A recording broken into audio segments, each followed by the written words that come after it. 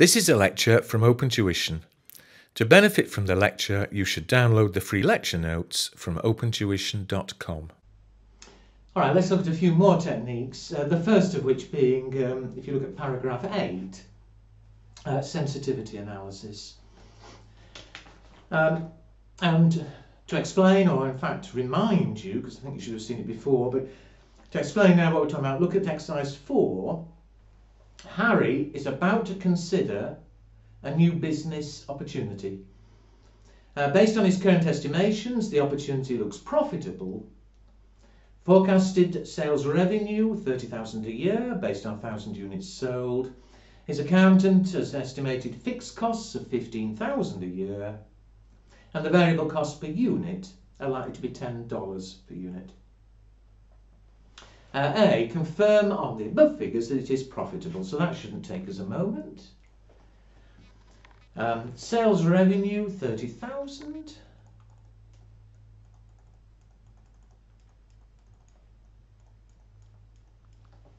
Um, the variable costs is $10 a unit. There are 1,000 units, so 10,000.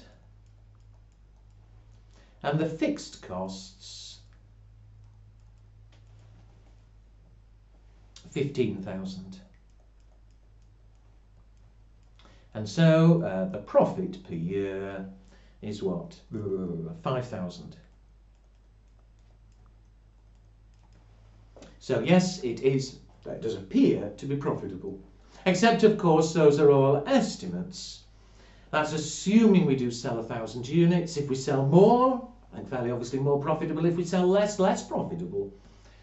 Um, it's assuming we sell at $10 a unit. It's assuming fixed costs will be 15,000. Sorry, we're selling at $30 a unit. Uh, the variable costs are 10. They're all assumptions or forecasts. And the problem is, of course, if any of those turn out to be wrong, then sales volume, for instance, if we sell more, then we're going to be more profitable. That's no problem. If we sell less, we'll be less profitable.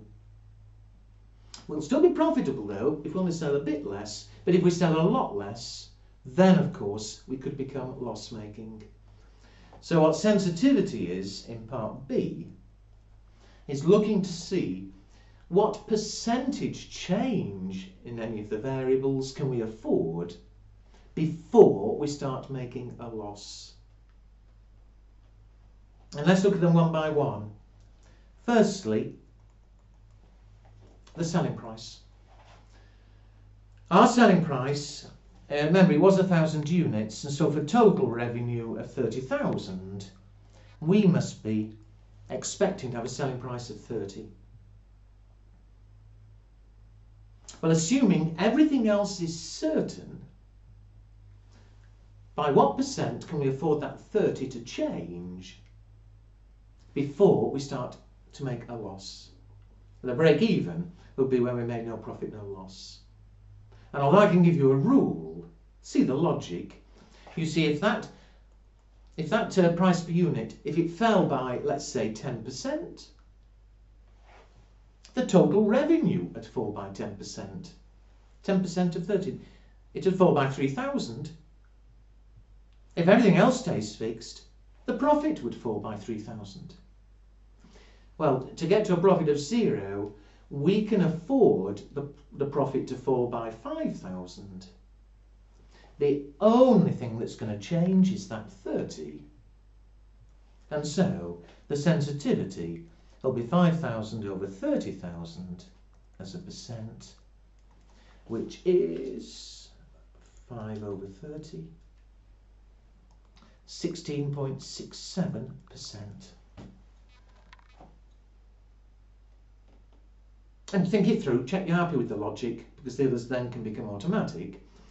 So you see, if the 30 fell by 16.67%, and we still sold 10,000, a thousand rather, uh, then the total revenue would fall by 16.67%.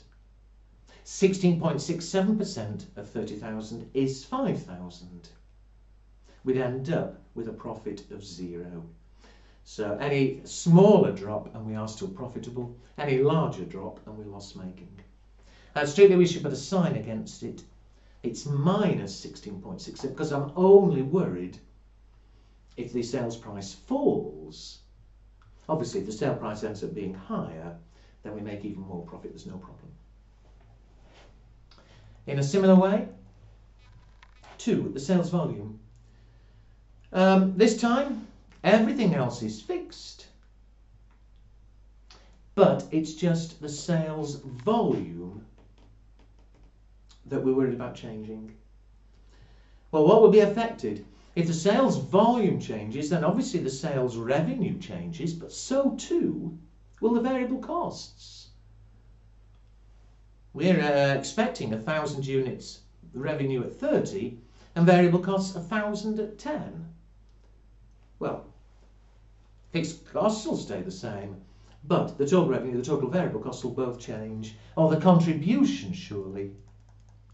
The contribution is 20,000. It's that 20,000 that will change. 10% fall in volume, there'll be a 10% fall in the contribution. The total fall we can afford again to get to a profit of zero is 5,000. The item that's changing is the contribution of 20,000.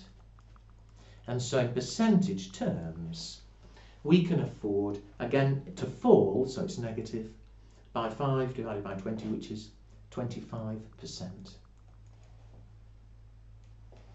By now it should, I hope you're getting automatic. What about number three? Uh, the total variable costs. Well, the variable costs on their own are 10. If they were the only things that were changing, which means therefore the variable cost per unit was unsure. Well, if you're unsure about the variable cost per unit, at the moment it's 10,000. We can afford it to change by up to 5,000. So 5,000 as a percentage of the thing that's changing is 50%. And this time, of course, uh, we're only worried if variable costs go up.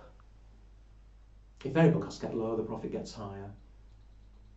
And again, I probably shouldn't need to, but you see, we've got a thousand we're expecting a thousand at ten dollars.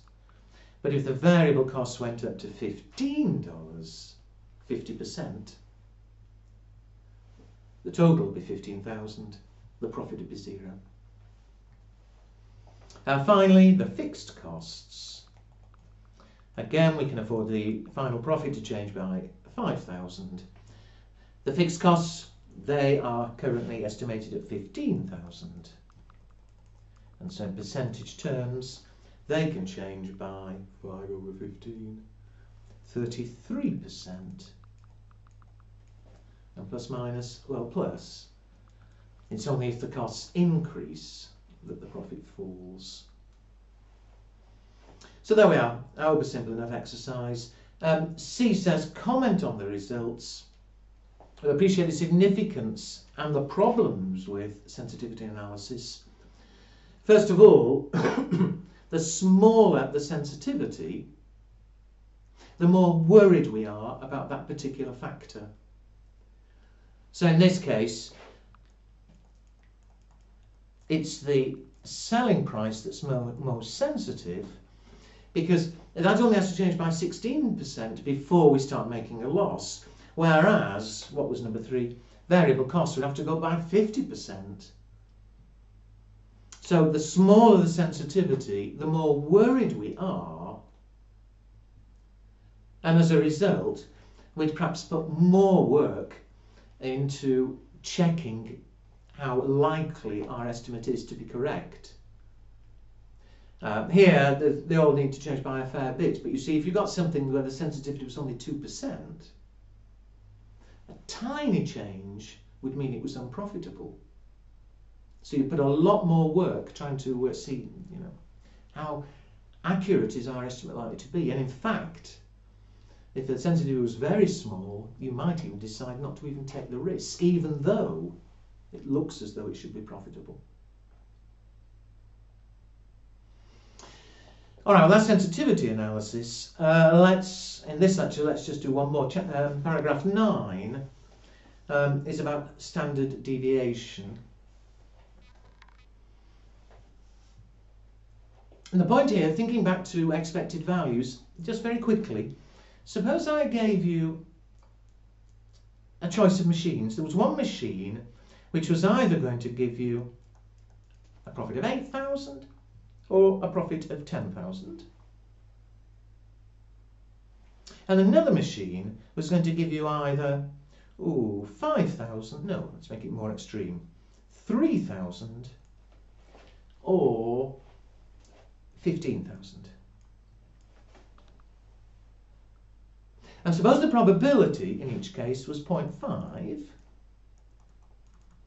If the probability of the high or the low was 0.5, then A would give you an expected return of 9,000. Whereas B, if it was the same probabilities,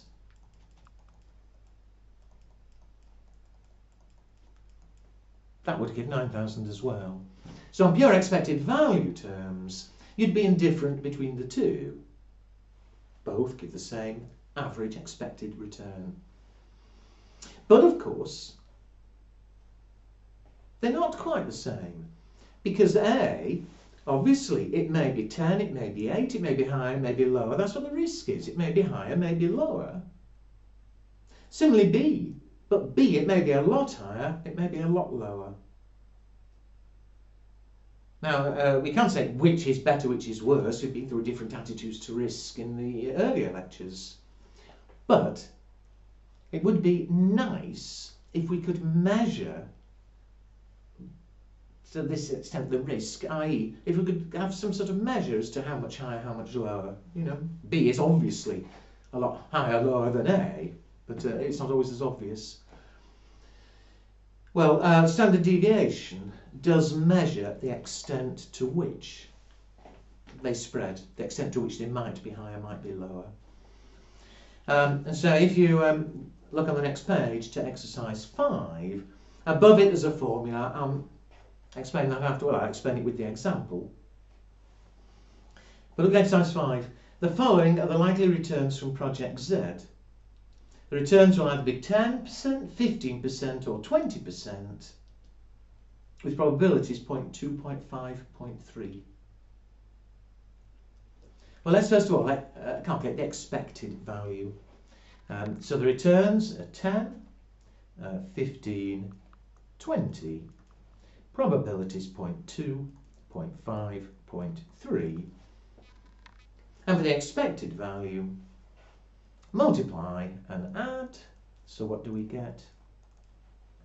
Uh, 2, 7.5, 6. The expected value, the average, is 15.5. Now, just putting symbols to it, and then when we've done the next bit, I can produce a formula. Uh, I'll call the returns x. P is the probability. And so to get the expected value or the average, we simply multiplied p times x and we added up. And that expected value is also known as the mean, the average. Uh, the symbol is x bar.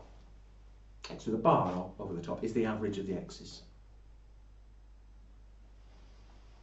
Well, that's fine. The average is 15.5, but again, it may be higher, it may be lower. We want a measure of the spread. And so let's see what the spread is, what the difference is in each case. Uh, if I compare each return with the average, or x minus x bar, the first one, 10%, as against 15.5, is minus, it's 5.5 below the average. 15 minus 15.5 it's minus 0.5 below the average. At 20, it's above average, it's plus 4.5. So there are the deviations, the differences from the mean. I want to know the average difference. Well, if the one problem is, if we took the average as they stand, uh, you know, the expected value multiplied by 0.2, 0.5, 0.3, that wouldn't work because of the pluses and minuses. You try it if you want. But the average multiplied by probability to add up would come to zero because some are above, some are below. And so to remove the sign problem, what we do is square those differences. Because if you square them, they all become positive. And then we take the weighted average by multiplying by the probability and adding up. So if I can find my calculator, here we are. Check me, but 5.5 squared multiplied by the probability, because we're taking the weighted average, 0.2, I get 6.05. Next 1.5 squared, multiplied by the probability of 0.5, gives me 0.125. And finally, 4.5 squared times 0.3 is 6.075. They're all positive. A minus times minus is a plus. So what's the total of those?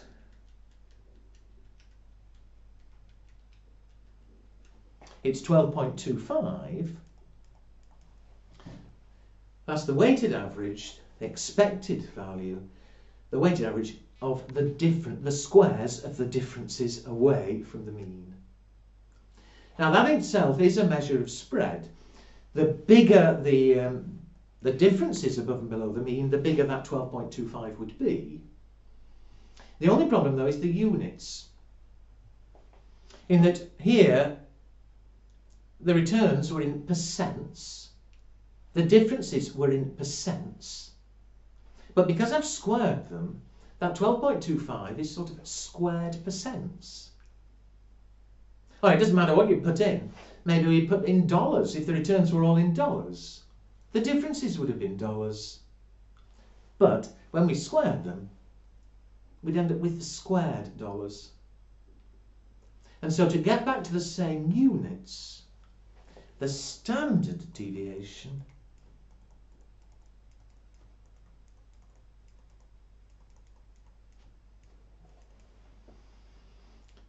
That was 12.25 squared percentages. Again, to get to the same units, we now take the square root. And so the square root of 12.25 um, is 3.5. And now we are back to percents. Or again, had the original figures been in dollars, we'd now be back to dollars. So that's the standard deviation. And all right, as a formula, what did we do? We took x minus x bar, we squared, multiplied by the probability, and added them all up, which is what sigma means. So the sum of p x minus x bar squared, that's the 12.25. But then to get back to the same units, oops, we took the square root. So there you are, that's that formula that's above the example. Now one last thing, you'll see MB in the illustration, in the exercise, coefficient of variation. although that 3.5 is a measure of how much the spread is, is that a big spread or a small spread? What I'm getting at, you see, if um, if our expected values, if these had all been 80%, 90%, 95%, 3.5%, it's fairly small. But if we've been talking about something like 3, 4 and 5%, 3.5% is very big.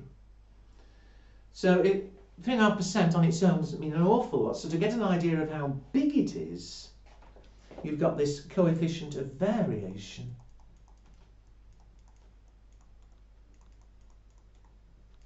Which is, you've got it there, standard deviation, which is 3.5%, divided by the mean 15.5%, which is 0.226, or if you prefer, 22.6%, it doesn't matter. Yeah. But it, it just gives an, an idea of order of magnitude of how big um, a deviation of 3.5% actually is. Okay, one more bit to look at.